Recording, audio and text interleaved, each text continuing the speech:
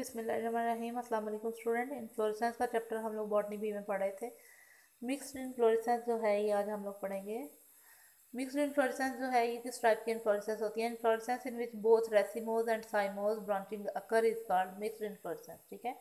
ऐसी इन्फ्लोरेसेंस जिसमें racemose type की इन्फ्लोरेसेंस भी हो रही होती है और साइमोज टाइप की भी हो रही होती है, उसको मिक्सड इन्फ्लोरेसेंस कहते हैं। जैसा कि पेनिकल्स ऑफ़ स्पाइकलेट इसमें जो स्पाइकलेट्स हैं are arrange on panicle branching ये प्रेजेंट होती है वीट में और ओट जंगली जई जिसको कहते हैं, ठीक है? उसके बाद आ जाता है रेसीम ऑफ़ साइम इसमें क्या हो रहा है? Pair secondary axis start as biparous but later it becomes uniparous which develop the whorl of sessile flower verticillaster ये वाली जो है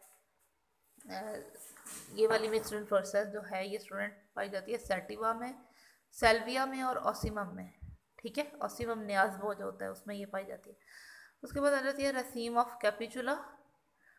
Main axis is branch in a racemose manner and each branch terminates in a capitulum main axis जो है वो racemose manner में है और हर ब्रांचिंग उसकी जो ब्रांचेज है वो कैपिचुलम में टर्मिनेट कर रही होती है। एरिगिरॉन जो है वो इसकी एग्ज़ाम्पल में आ जाता है प्लांट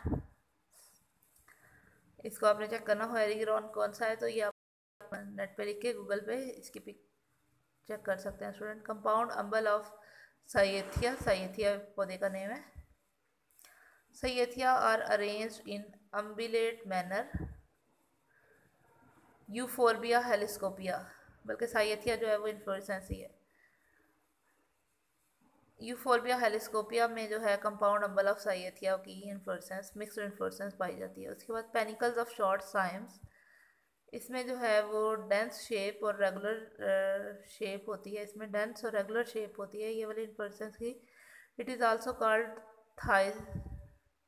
thyrsus ठीक है? इसमें वाइन का जो पौधा है, उसकी एग्जांपल दिया जाता है।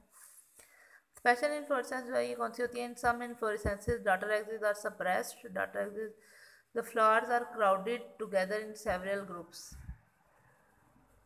It is difficult to determine the type of inflorescence in them. Therefore, they are called special inflorescences. ठीक है स्टूडेंट ऐसी inflorescences जिसके बारे में ना पता चल रहा हो कि वो रेसिमोज है ना साइमोज का उसके बारे में पता चल रहा हो और ना ही पता चल रहा हो कि वो मिक्सड इन्फ्लोरेंस है तो वो स्पेशल इन्फ्लोरेंस कहला देती है जैसा कि साइथियम वर्टिसिलास्टर और अम्बिलेट साइमोज हेड जो है ये वाली इन्फ्लोरेंसेज जो हैं ये स्पेशल इन्फ्लोरेंसेज हैं साइथियम जो है, ये looks like single flower but in reality it is inflorescence many exist are reduced in its complete suppression of sepals, petals occur in flower.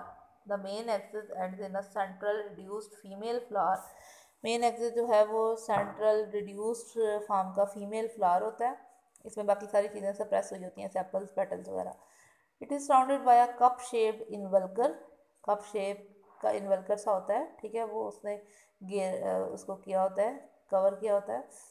Five scorpioid cyme clusters of male flower surround the female flower female flower ripens first than the male ripens ठीक है? पहले female flower पक जाता है और बाद में male flower पकता है। The order of development is like cymose cluster इसकी एग्जांपल जो है वो यूफोरबिया हेलिस्कोपिया जो है, वो साइथियम की एग्जांपल में आ जाती है। और साइथियम जो है, ये स्पेशल इम्प्लोरेंस की टाइप है। नेक्स्ट वर्टिसिलास्टर है, इसमें क्या होता है कि bracts in each floral region are opposite bracts opposite होते हैं, ठीक है? Each bract has cluster of sessile flower in its axis bracts opposite होते हैं, यानी एक नोट पे एक प्रेजेंट होता है, दूसरे नोट पे दूसरा, दूसरी साइड पे प्रेजेंट होगा, फिर तीसरे वाले नोट पे, पहली वाली साइड पे, फिर चौथे वाले नोट पे, दूसरे वाले की साइड पे होगा। और उनके एग्जिल्स में जो है वो फ्लावर का क्लस्टर सा निकल रहा होता है साइल फ्लावर्स का यानी ऐसे फ्लावर जिनमें पेडिसल नहीं होती। The two clusters at the node form whorl like arrangement called verticillaster cluster of flowers is biparous cyme at first suppression of one और two branches occur in it and it becomes uniparous example जो है वो उसकी Ocimum आ जाता है। Ocimum में verticillaster inflorescence होती है। Umbellate cymose head it is found in onion and garlic ये वाली इन्फ्लोरेंसेंस जो स्टूडेंट अनियन और गार्लिक में होती है। अ लॉन्ग लीफलेस स्टॉक और scape arises in the midst of radical leaves this scape bears cluster of flowers at its upper end the flowers appear to form umbel but in reality they form helicoid cymose clusters. Therefore, such type of inflorescence is called umbellate cymose heads. अच्छा student mixed inflorescence और special तो जो तीन ही types के हैं, वो आप तीन याद रख सकते हैं और उसकी एग्जांपल्स भी। और मिक्सड भी आपको थोड़ी कंफ्यूज कर सकती है, ठीक है ना? साइमोज और रेसिमोज वाली आप लोगों ने अच्छी तरह से याद कर लेनी है और उनकी एग्जांपल्स भी कम अज़ कम एक आप लोगों को ज़रूर पता होनी चाहिए। बाकी आप कोशिश करें कि मिक्स और जो दूसरे वाली पहले आपने कंपाउंड पढ़ी थी, उसकी भी एग्जांपल्स कम अज़ कम आपको ज़रूर याद हो। बाकी आप याद करें इसी तरह से। ट्राई करें कम अज़ कम अगर कोई मिसिंग भी होती है तो।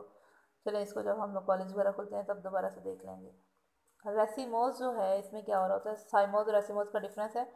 इसको एक दफ़ा पढ़ लेते हैं student in inflorescence in which main axis develop lateral flowers and continues to grow indefinitely ठीक है? रेसिमोज इन्फ्लोरेसेंस में जो मेन एक्सिस होता है, वो इनडेफिनेटली ग्रो करता रहता है। जबकि साइमोज में हमने पढ़ा था कि मेन एक्सिस जो है, वो एंड हो जाता है एक टर्मिनल फ्लावर उसके ऊपर निकल आता है और मेन एक्सिस की ग्रोथ एंड हो जाती है। फिर उसके बाद उसकी लेटरल ब्रांचेस निकलती हैं। ठीक है? तो वो लेटरल ब्रांचेस जो हैं, वो डॉक्टर एक्सिस कहलाते हैं। वो निकलते हैं और ये प्रोसेस सेवरल टाइम रिपीट होता है। यानी फिर वो जो एक ब्रांच निकली होती है, वो भी एंड हो जाती है टर्मिनल फ्लावर में। फिर उसकी नीचे से सब ब्रांचेस निकलती हैं। फिर सब ब्रांचेस की ब्रांचेस निकलती हैं। तो uniparous biparous multiparous ये हम लोगों ने पढ़ा था। ठीक है ना? अब इसमें सेकंड जो है डिफरेंस वो क्या है? Main axis is monopodial flowers are borne on false axis called sympodium अब तीसरा डिफरेंस हो जाएगा कि रेसीमोज जो है उसमें कोई डॉटर एग्जिस नहीं है, जबकि साइमोज में डॉटर एग्जिस निकल रहे होते हैं। रेसीमोज में फ्लावर एक्रोपिटल सक्सेशन में डिवेल्प हो रहा होता है। एक्रोपिटल सक्सेशन कौन सी है? जिसमें older flowers are borne towards the base of the inflorescence but younger are towards the apex यानी ओल्डर फ्लावर बेस की तरफ़ डिवेल्प हो रहे होते हैं इन्फ्लोरेसेंस की बेस की तरफ़, और younger flower toward the apex इसमें जो बेसिपिटल सक्सेशन होती है terminal flower is the oldest and lateral flower are the younger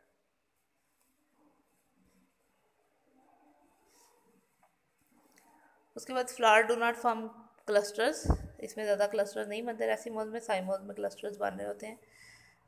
They have less tendency of grouping grouping और क्लस्टर सेम चीज़ हो गई, इनमें ग्रुपिंग की टेंडेंसी ज़्यादा होती है और इसी वजह से ये क्लस्टर्स बना रहे होते हैं ज़्यादा साइमोज वाले फ्लावर्स रेसिमोज जो है main axis become flattened older flowers are arrange toward periphery and younger flowers are arrange towards the racemose में स्टूडेंट सेंट्रीपेटल जो है वो अरेंजमेंट होती है फ्लावर्स की, यानी ओल्डर फ्लावर्स जो हैं वो पेरीफ्री की तरफ़ होते हैं, जो नए फ्लावर बनते हैं वो सेंटर की तरफ़ बने होते हैं तो वो सेंट्रीबिटल होती है, जबकि सेंट्रीफ्यूगल में जो है जो सेंटर है उसमें ओल्डर फ्लावर्स हैं और पेरीफ्री की तरफ़ जो है वो यंगर फ्लावर्स हैं। एग्जांपल्स, ब्रासिका, कैंडी टफ्ट और इसमें हाई हाइपरस्ट्रियम जो है वो इसकी एग्जांपल में आ जाता है।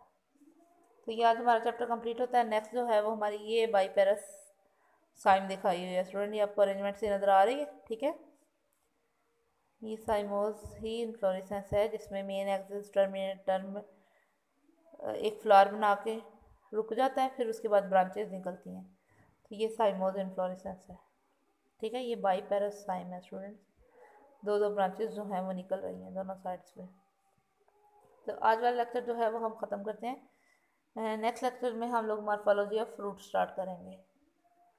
यहाँ तक हमारा लेक्चर कंप्लीट होता है।